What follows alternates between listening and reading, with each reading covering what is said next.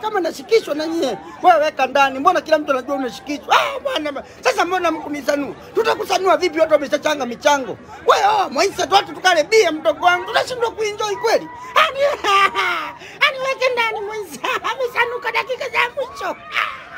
Asiponi wanakufa kesi yake, serikali iko wapi? Wewe Moise atakupeleka mahakamani. Wewe sasa ndo nishikishwe na wewe Moise.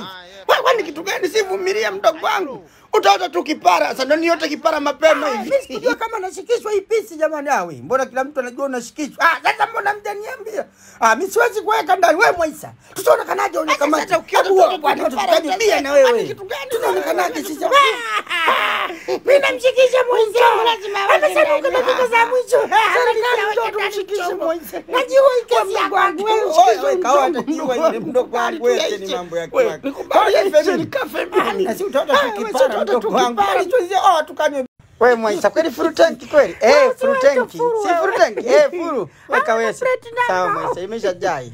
Lipa namba iko wapi hapo? Pale. Lakini gari yenu mbona haina plate namba Kama mko tayari kwa Chashua. Soka po hapo. Wewe Mwaisa wewe. Ah, wewe usimwekee furu tanki wewe. Kudiri na Mwaisa wewe weka kazi. furutenki jaza. Hamna huyu Mwaisa mstaarabu. Lipa namba iko wapi?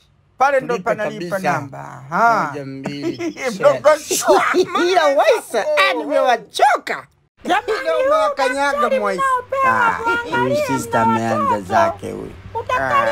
Atakuwa ananilenga Ah. mtu wapi. Kwanza ndio useme nikiwa nimesimama hapa. Hivi hapa vina vya udaktari wa heshima. Ah, na umbea sasa. Sasa mimi natoa maelezo. Basi kama vile mimi basi mdogo wangu. Sasa huko mnakotaka twende.